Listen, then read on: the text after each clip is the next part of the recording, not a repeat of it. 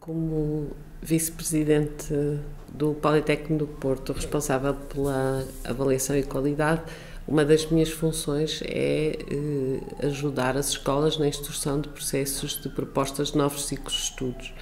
E nos últimos três anos eh, submetemos eh, várias propostas à, à 3EES, à Agência de Avaliação e Acreditação do Ensino Superior, notando-se que o, há um esforço considerável por parte das escolas do IPP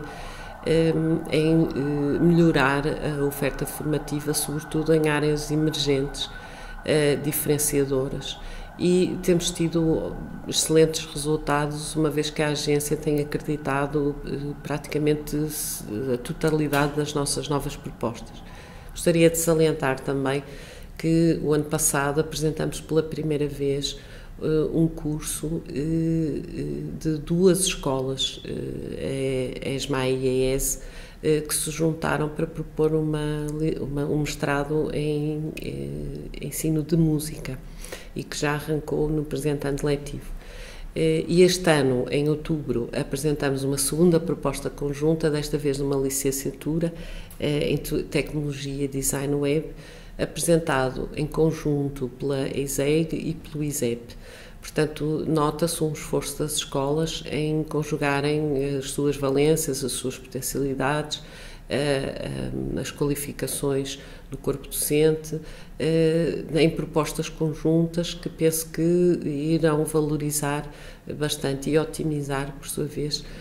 o esforço do IPP em oferecer cursos bastante atraentes para e para novos públicos. Já em relação aos ciclos de estudos em funcionamento, eh, nós estamos em plena fase de avaliação de toda a oferta formativa de todo o ensino superior em Portugal, o que quer dizer que eh, no primeiro ano tivemos 14 eh, cursos em avaliação, no ano 2, 23 e no ano 3, que vamos agora submeter em dezembro, temos 11. No ano 4 iremos ter 33. Ora, estes processos de avaliação dos ciclos de estudos em funcionamento são extraordinariamente trabalhosos, hum, uma vez que implicam uma autorreflexão eh, de todos os envolvidos, desde os órgãos das escolas, eh, os estudantes, os docentes, os funcionários não docentes, eh, os empregadores, um, em relação a, aos vários aspectos que constituem um, um, ciclo de estudos. Bom, em relação ao processo de avaliação dos, de, dos nossos ciclos de estudos em funcionamento e à laia de, de,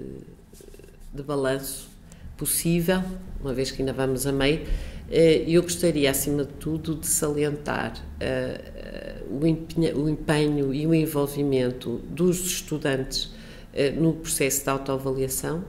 em todas as suas fases, desde a elaboração dos relatórios de autoavaliação até eh, enquanto interlocutores das comissões de avaliação externa, eh, que me parece realmente fundamental para a, a, melhoria eh, contínua dos nossos cursos. E gostaria também de salientar o, o, o, o processo de, de interiorização um, ehm, por parte da comunidade IPP em relação às vantagens que um, um, um, processo destes, que é tão trabalhoso e dispendioso, ehm,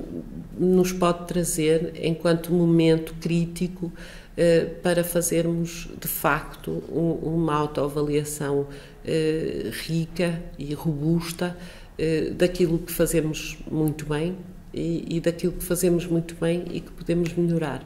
Um, também, uh, uh, e, e, para isso conta, tem contado o papel da equipa aqui do IPP, um, gostaria de salientar o, o espírito de entreajuda que se está a desenvolver entre as escolas, uh, numa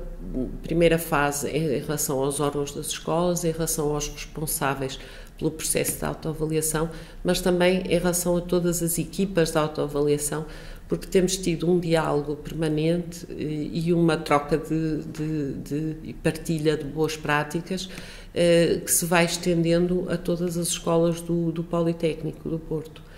Ehm, para já, a avaliação dos nossos ciclos de estudo tem-nos corrido bem, sobretudo porque encaramos